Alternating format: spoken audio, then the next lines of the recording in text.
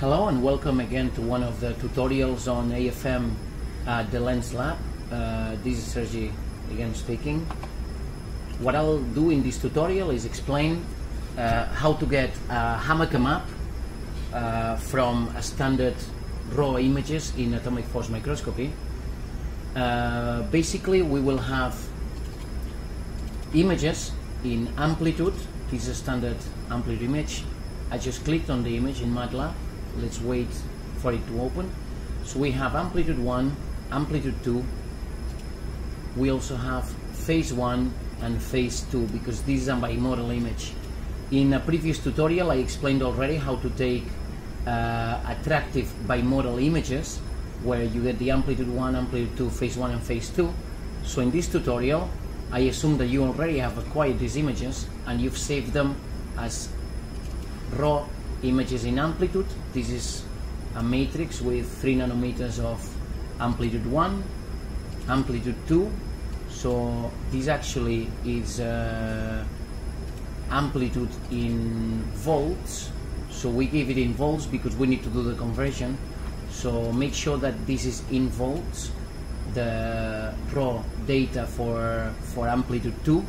So this would be actually 13 millivolts 14 millivolts and the software that I'm going to use now will actually convert these 13 millivolts of amplitude 2 into into nanometers. So make sure that you keep your amplitude in volts. Then we have the height image in meters as well. Sorry about that because this was actually uh, meters. So it's 3.0 to the minus 9 so this is actually meters. So this phase 1 as we can see it's above 90 so it's attractive and this phase 2 which is also above 90 which is what it should be because this standard attractive bimodal imaging. So okay so once we have these four um, pieces of data in text format as I explained in the previous uh, tutorial all we need to do is copy them in the in this folder in the folder called bimodal I'll check here bimodal Hamaker closed form. Inside you find data images, so we copy them here, A1, A2, HP1 and P2, and then we just click bimodal. So that's it. So once you click bimodal, Theory 2015 December 15, so this is the current version of the software. One of the things that I haven't done yet that we should do is to make a nice uh, interface for you to change the parameters but for now you need to do it manually. So it's very easy to make in MATLAB though uh, an interface. In any case all we need to do is make sure that we have the correct amplitude involved involved. This is in line 15 of the MATLAB code. So amplitude involved in this case was 53 to the minus 9 amplitude 2 was divided by the sensitivity. That's why I'm saying that amplitude 2 should be in volts. This because of the way in which uh, the AFM actually uh, gives the raw signal. Amplitude 1 voltage converts into meters in a different way than mode 2. So it needs to be, the voltage should be divided by sensitive mode 2, which we've chosen to be 3.473, according to most of the literature of AFM. So then what we need to do is select the free amplitude free amplitude of mode 1 in volt, free amplitude of mode 2 in volt, in this case it was 0.11 volts, free amplitude of mode 2 which was 0.022 volts, and we need to check the spring constant of mode 1, the Q factor of mode 1, spring constant of mode 2, Q factor of mode 2. So you need to change manually this to the actual parameters that you've, uh, you've acquired during the experiment. And once you change that, all you need to do is run, run the code. As long as the raw data is inside this folder here, everything should be fine. So let's run the code and let's see what happens to that raw data. So when I run it, it asks me to to select the folder where I have my raw data, which is data images in this case, I press select. So now what's happening is that we're getting uh, the transforms that we should be getting uh, in this case for uh, for a DNA molecule. This was about 120 nanometers, if I remember correctly, 129, 129, uh, 20, sorry, nanometers. The reason why you get 0 to 250 is because this is actually the pixels that you get in the image, 250 by 250. Uh, actually, it's 256 because in uh, standard AFMs normally you can choose powers of 2 for pixels. So this is the DNA image and now what's happening is MATLAB is calculating uh, the Hamaker parameter. So what I'll do while it's calculating because it might take a while, uh, let's open another clean folder in Google. So if you put uh, rapid uh, bimodal uh, mapping 2 nanometers, hopefully we get the right paper with this. Yes. So this is actually it. This is the, the other paper so we'll open it from now. So if we open this link what we get hopefully is the link of the paper that where this algorithm that I will discuss now is explained. This was published in uh, nanoscale. It, was published in 2016 uh, volume 8 page 9688 so the authors were Alice, uh, Saverio, myself, Ricardo Garcia, and Matteo. So you've got the abstract here, and you can open up this paper and find out about uh, what we've actually done and what I will explain in this uh, tutorial. Uh, in the abstract, however, you can already see that what we want is a map of the Hamaker constant. So let's see if we can understand what this Hamaker constant is. Let's check in Wikipedia to give a brief idea. Let's check if this is finished already. It's not finished, so we can keep talking about this. So Hamaker constant, let's click on Wikipedia just to have a brief idea for people that are new to, to this. So the Hamaker constant A, we call it H in AFM because A normally stands for amplitude, so we call it H for Hamaker rather than A. The original paper gave it A but we call it H. So the Hamaker constant A can be defined for a van der Waals body-body interaction. So basically Hamaker is pi squared times C, which is a constant, density 1, density 2. And density 1 and 2 are the number of atoms per unit volume of the two interacting bodies. And C is the coefficient in the particle-particle pair interaction. Actually, this is the power law for van der Waals, and we see that the coefficient is C. So from this straightforward definition, we see that if we map the Hamaker, we'll get a map of, uh, sorry, I just clicked on atom. So we'll get a map of how strongly, because of C, the atoms on the tip of the AFM interact with the atoms on the surface because of C, which is the coefficient of strength of this van der Waals interaction, and also proportional to the density of atoms on the tip and the density of atoms on the surface. So because the density of atoms depends on the actual chemical and the strength of this uh, interaction also depends on the chemical, the Hamaker map will give us hopefully a van der Waals map.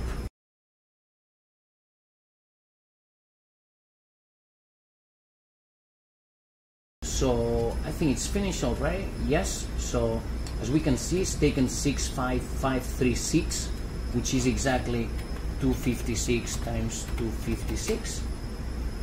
Sorry, 256. Yes, so this is actually the pixel, so it had to calculate the Hamaker for each pixel.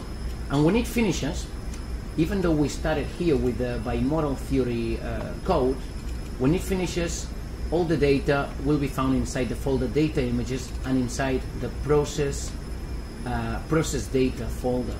So now we have the amplitude 1, amplitude 2, dmin, this actually is something that we leave there but it's not uh, relevant here. dmin full, so we're interested in dmin full. I'll click on it. So dmin full actually is a map of the DNA molecule. This is the DNA molecule here. This is the map about 120 nanometers by 120. And what dmin is, is the minimum distance of approach per pixel. In other words, how close was the the tip to the surface when it was tapping the surface. If we want to know numerically about this, we can go in the code and take new dmin full. We can take this guy. We can put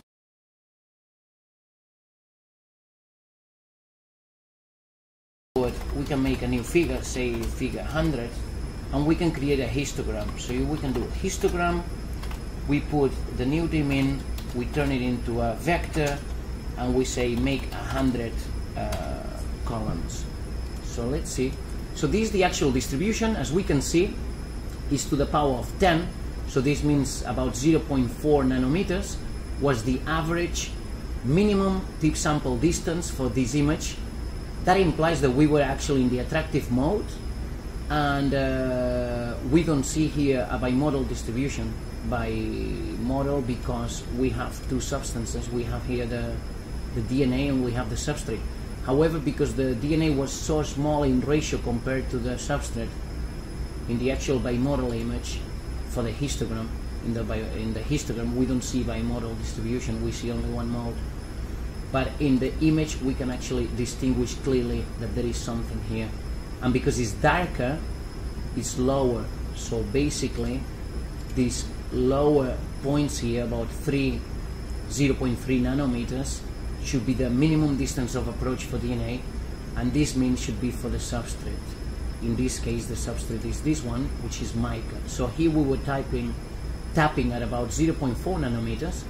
Here we were tapping at about 0.3 nanometers in the DNA model. So this is the explanation of the dmin uh, figure. We can also go on the E1 figure, so let's click on it.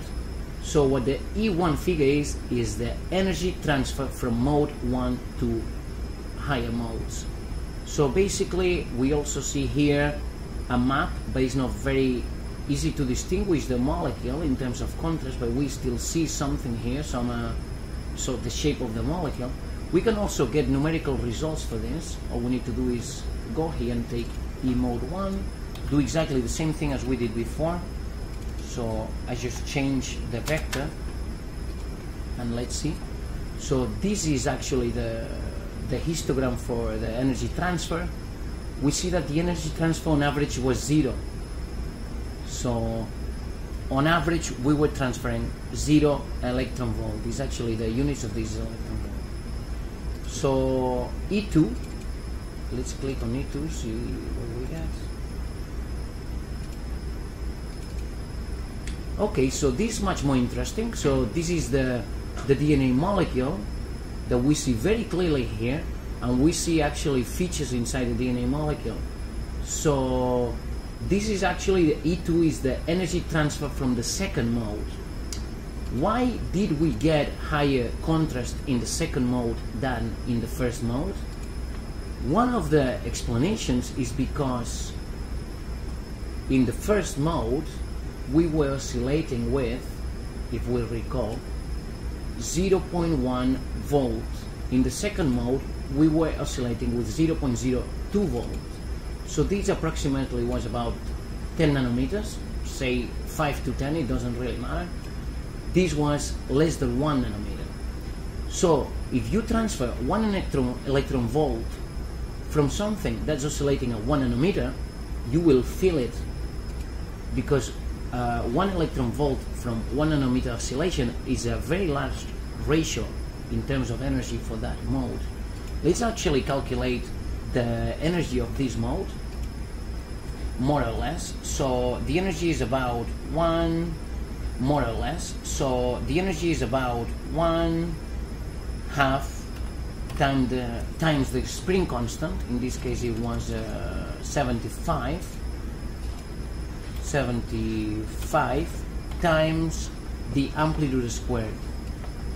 Amplitude squared was about 0.022, so say 0.022 times 0.022 because this is squared, so it's one half spring constant amplitude squared. That's uh, the simplified form of the kinetic energy of the of the oscillator of the second mode and now we need to convert to uh, well we don't need to convert just in, in terms of uh, well we don't need to convert just in, in terms of, uh, of, of comparing with the first mode. Uh, but voltage wise we know that it was 3.475 divide 3.475 if now we want to convert to joules all we need to do is multiply times 1 to the minus 18 to get into joules. But this should be the energy with amplitude in volts. And for the first mode the energy was this was 2 and this was 1 more or less right? Uh, 1 1 on 1 and we can get rid of the 344 because this is for the second mode. So in terms of volts the energy for the first mode was 0, 0, 1, 0 0.01 the energy for the second mode was 0.01 so it was an order of magnitude less. This explains why in this image the second mode even though probably we were transferring the same amount of energy we can actually check the energy we were transferring. Mode 2 okay let's get it here. Uh, let's do another figure figure 101 and let's create another histogram. So histogram for the second mode here. So let's check.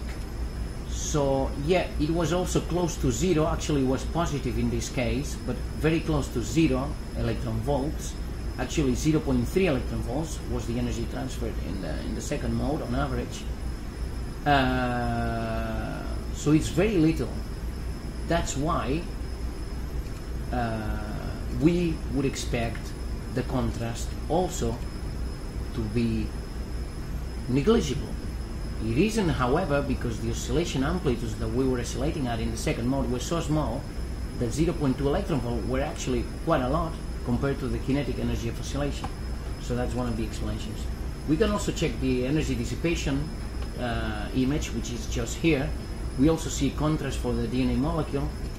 We can check the actual numerical values of this. Again, it's the same thing. This is the actual vector that contains the information.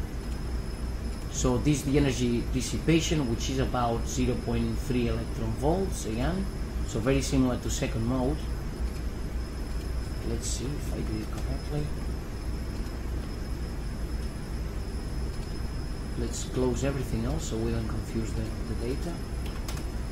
Okay, so here you go. So it's 0.3 electron volts, 0.2, 0.3 on average.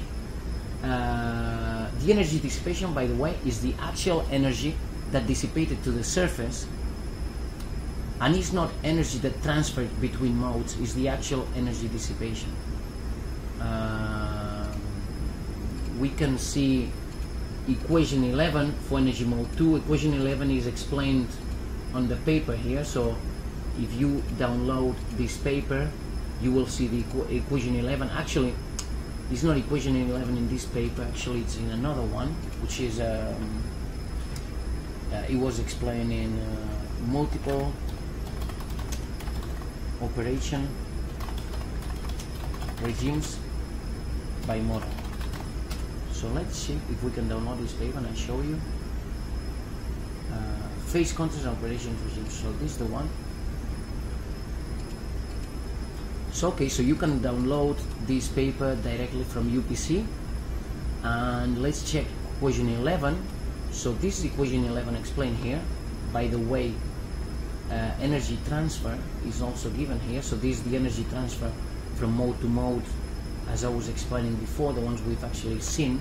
This is energy dissipation we've also seen. And this is energy equation 11. So let's give a look at the image. So this the image is there's actually quite a lot of contrast here, so that's why this equation might be very relevant for many people because they might like the contrast. This actually is the energy transfer from the mode times the Q factor divided 2 pi n. So actually it's proportional to the energy transfer for mode n, which is actually, in this case, the second mode. So it's actually proportional to this one. So they should be the same, just in different units. This and that. So these two. The reason why uh, this equation, even though it's proportion might be might be of interest, is because we can add the kinetic energy plus this expression and get the actual energy transfer. And the kinetic energy is a very interesting term in bimodal, as we will see by looking here. Let's look at the kinetic energy. So here you go. So this is the kinetic energy. As I was saying, uh, typically it gives very good contrast.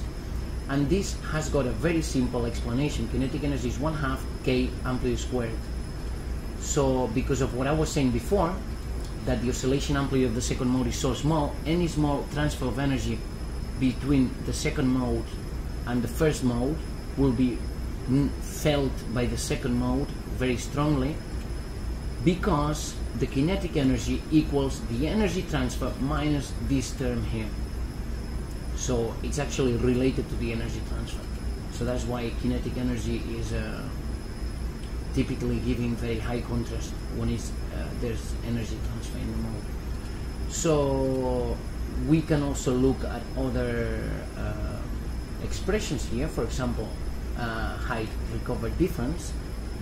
Height recovered difference is recreated, so this is basically the difference in height relative to the actual height that you looked.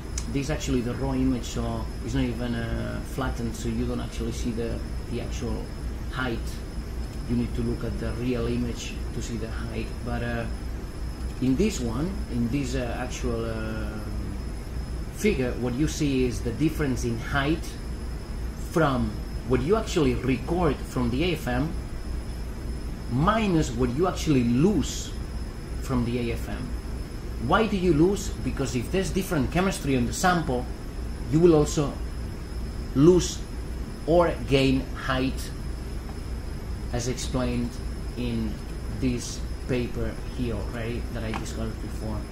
So this is the actual paper, nanoscale, rapid quantitative, quantitative chemical mapping of surfaces.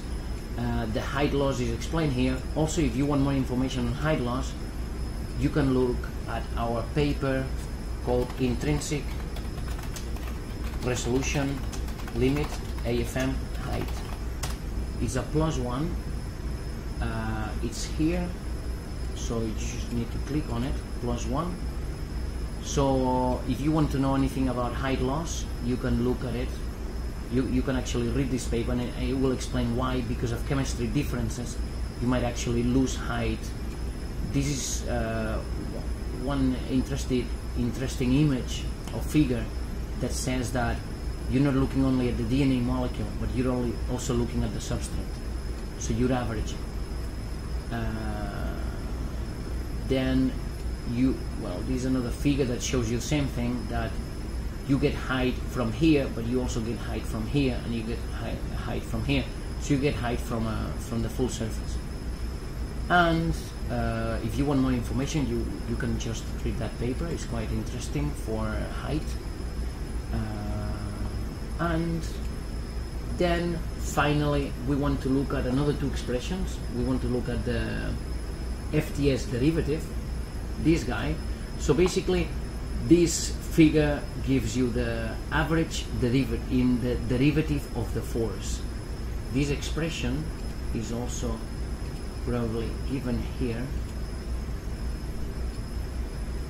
Maybe not but basically it's very simple. It's just uh, the derivative of the force. So if this is the tip sample force you derive this per cycle and the result is this figure which is related to the chemistry. So we expect to see the DNA molecule in a in a figure giving contrast for the derivative of the force. You can also find uh, information on this paper on this paper here. And uh, finally we'll go to the last figure which is the Hamaker which is the one we were discussing from the very beginning. And this is the Hamaker map of the DNA molecule.